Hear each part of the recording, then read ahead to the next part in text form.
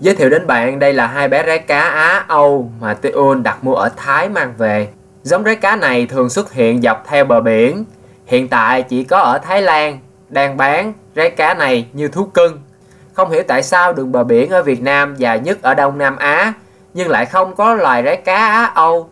Chẳng lẽ do quá trình đô thị hóa xây dựng các khu nghỉ dưỡng ồ ạt, chặt phá rừng thiên nhiên mà làm cho loài rái cá này bị tuyệt chủng ở Việt Nam?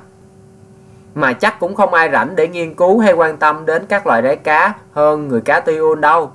Bởi vậy, để các bạn hiểu rõ hơn, thì tôi mới mua về để nghiên cứu thử xem thế nào.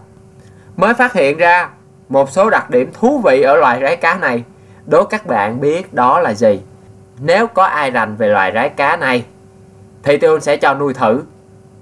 Còn chắc chắn lớn lên là mấy em phải về với khu rừng đứa của người cá rồi.